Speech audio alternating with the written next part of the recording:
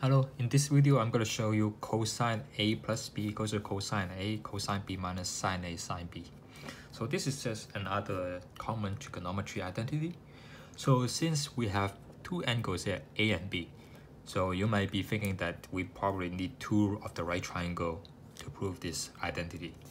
So that's right. So this is angle A and angle B. So in the first right triangle, I'm going to call this angle A and in the second right triangle, I'm to call this angle B. So basically, A plus B is this big angle here. So once you do A plus B, right, so that's the hypotenuse. And apparently, like, the base is not to be here. It's to be somewhere here to here. Uh, somewhere like cut down here and then from here. So I'm to draw this line. So that's one of the leg of this right triangle it has a 90 degree angle. So this is a right triangle with angle A plus B. So the base of this right triangle is just up from here to here. So I'm gonna call this like let's see I'm gonna call this whole base A from here to here. So this whole thing is A from here to here. I'm gonna call this B from here to here. I'm gonna call this side C from here to here. So this is one of the hypotenuse, so h1, and then second one would be h2, so hypotenuse 2, hypotenuse 1, because it has, like two right triangles. So here's the thing, you know that we only, when we do cosine a plus b, basically it's the base from here to here, this base. That means we need to figure out what this base is. So I need like the right triangle here. I'm gonna draw a line here touching the corner of this uh, triangle. So we know that we know that this is like a right angle. Okay, so let's I'm gonna call this side length D. So if this length uh, this length and this length is the same, if this is D, what is this length is uh, what's this length called?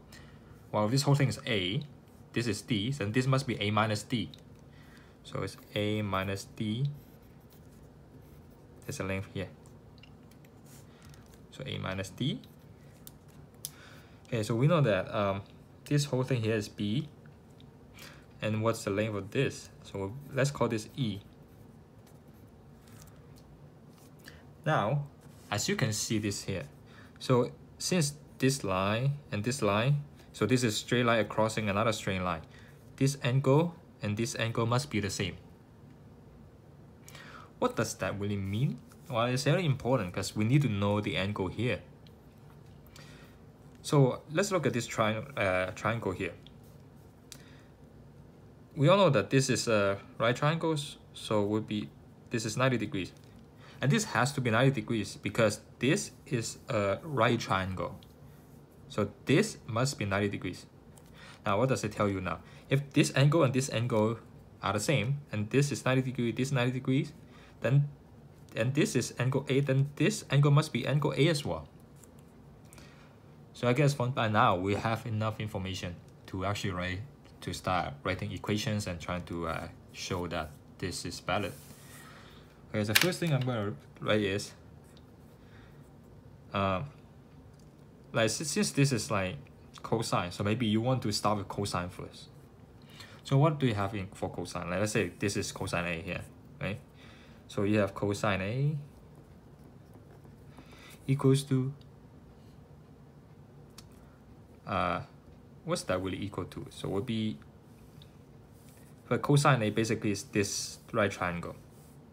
Then it must be this whole length A and this uh, hypotenuse. So it would be A over H1. So we can actually write as this as a equals to h1 cosine of a. The ultimate goal is that what you have to get to is this length, right? This side is a minus d. So it's good that you have something like in terms of a, because you're writing the cosine of uh, angle a plus b, so you need this side. So you have a now. So the next part is you need to figure out what d is.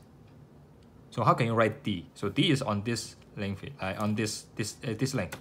So basically d is related to this right triangle this right triangle. So what can you write an expression in terms of d?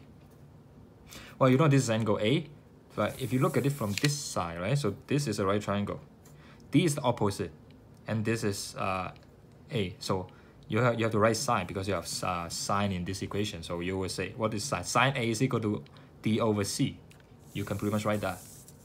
So sine A is equal to D over C. Then you can write as D equals to C sine A. Well, now it looks good. Uh, now it looks good in terms of see you have a minus d. So basically you can you have a you have d now. You can actually write a minus d. So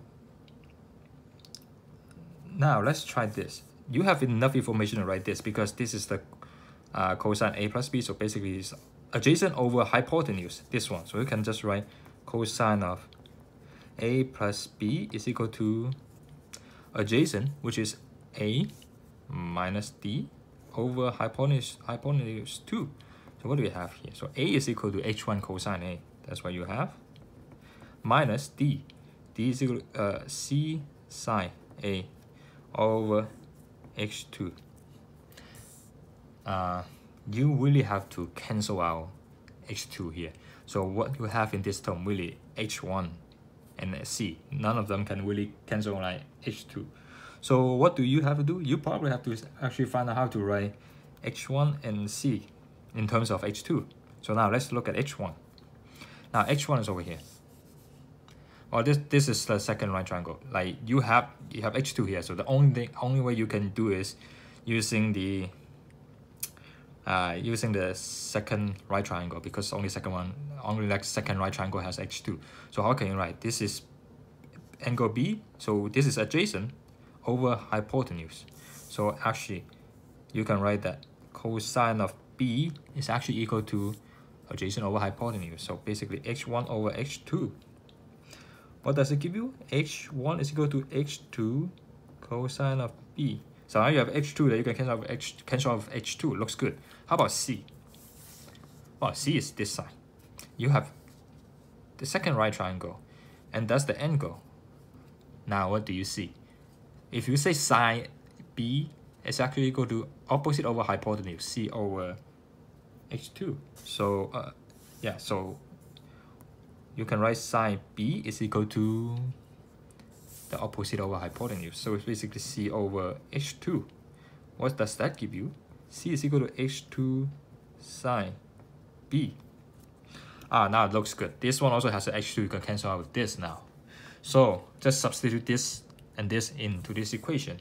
You have cosine of a plus b is equal to uh,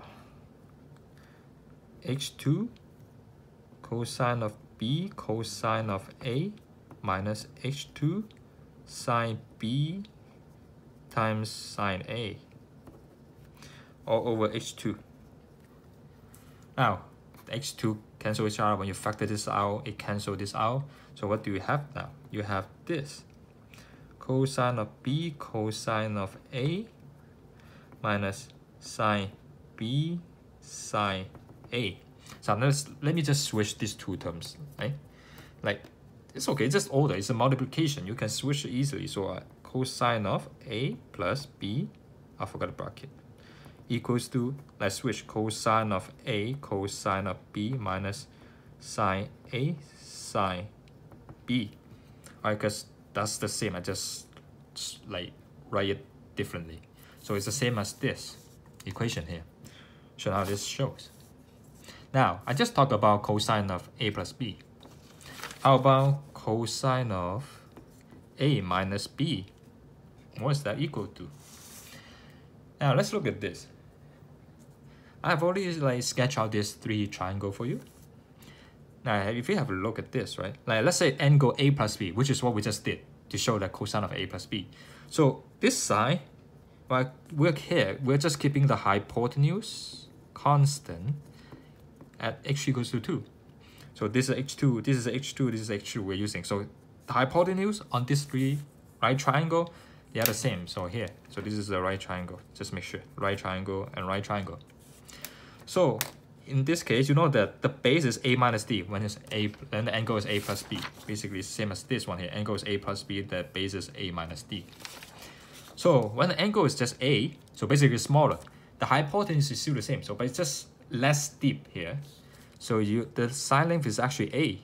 So let's go back to this uh, diagram. See this right triangle. When it's only a, the length is actually a, keeping the hypotenuse the same. Like well, in this case, like would be H2 and H1 is the same. Now, this is what we are looking at. Angle A minus B, angle A minus B. What does that look like now? The hypotenuse is even less steeper than this one. Right? So basically, steepest, uh, second steepest, lowest steepest, basically not really that steep. So what what what does that show you? Uh, one the hypotenuse is uh, flatter, like less steeper, and has a basically because of have it has a less uh, uh smaller angle. Then the base is longer, because we care about base. We care about the base because we're doing cosine. So then this one will be a plus d. You see this thing here? If it's larger, it's a minus d. If it's like in the middle, it's a, and then when it's a minus b, basically here is a plus d.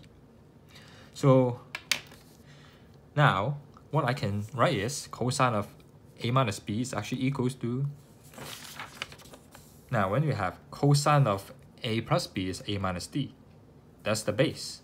Now I'm going to write the base for a for angle a minus b. So basically a plus d, a plus d over hypotenuse 2 because it's the adjacent over hypotenuse, right? That's cosine. So everything else is the same. So A is still A, right? So A would be expressed as what we have, like this, but we have plugged that in already, right, into H1. So we have A equals H2 cosine B, which is this, H2 cosine B cosine A. H2 cosine B cosine A plus D. Oh, what is D? We have this D. So D is C sine A, but we already plug C into C, uh, in, uh, plug this into C. So we have C as in H2 sine B sine A plus H2 sine B sine A divided by H2. So when you factor H2 out, this cancels each other. So what you have left is cosine of B cosine of A plus sine B sine A. Well, I guess you would like to see A in front of B, so I'm going to write this again as in as cosine of A cosine of B plus sine A sine B. And that's cosine of A min uh, minus B. So now I'm going to conclude this. Cosine of A plus B is actually equal to cosine of A cosine of B minus sine A sine B. Now cosine of A minus B is actually equal to cosine of A cosine of B plus sine A sine B. Thank you.